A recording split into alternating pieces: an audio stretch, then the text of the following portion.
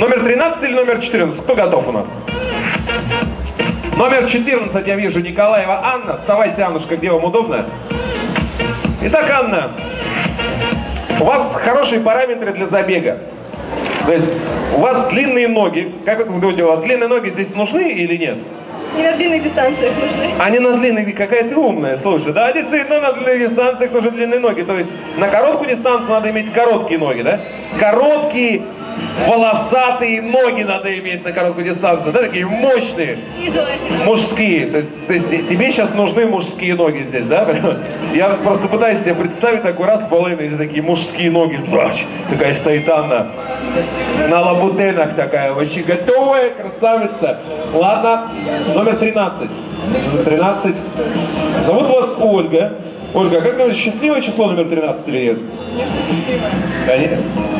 Конечно, счастливая. Оленька, ну у вас-то сильно мощно подготовилась, вижу. Занимаешься спортом? Каким? Лошадью занимаешься? Это-то да. Девушка, которая занимается лошадью, понимаешь, это мужчины такие, ага, интересно. Так, девочки на старт стали. Вот здесь у нас стартовая площадка, вот, вот отсюда мы стартуем. Вот так вот. Тут вот собралась такая, все, да? Оббегаем картину и возвращаемся обратно. Да? Ван Гога, да? На счет три. А раз, а два, а три. Хорошо идут. Опасно! Опасно! Я смотрю, смотрю, смотрю, смотрю. Все-таки она вперед прошла. Номер 13 все-таки прорвалась вперед. Отбивает ноги. Здесь, конечно, у девчонки номер 13 проходит финал.